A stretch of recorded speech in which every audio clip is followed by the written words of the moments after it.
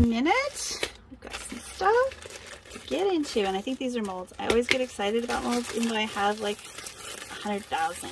Well.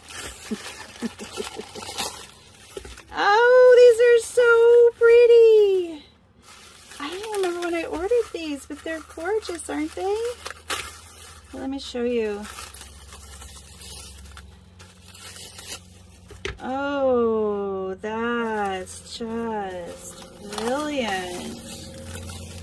I cannot wait to gild these and really make the design stand out. Isn't that beautiful? Look at those beautiful details.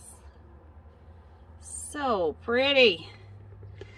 All right, what would you make with these? You got any ideas? Would you make soap? Would you make cookies? Would you make cakes, what would you make? It's silicone, so it's food grade. Uh, let's, maybe we'll start a vote in the below.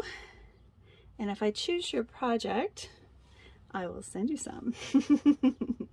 All right, if you enjoyed this channel, please click like and subscribe if you enjoyed this episode and what we're doing here. Please let me know. It motivates me to keep on creating and I need all the motivation I can get because life is so There's just so much you want to do, right? All right, so I'll see you all next time. Bye for now.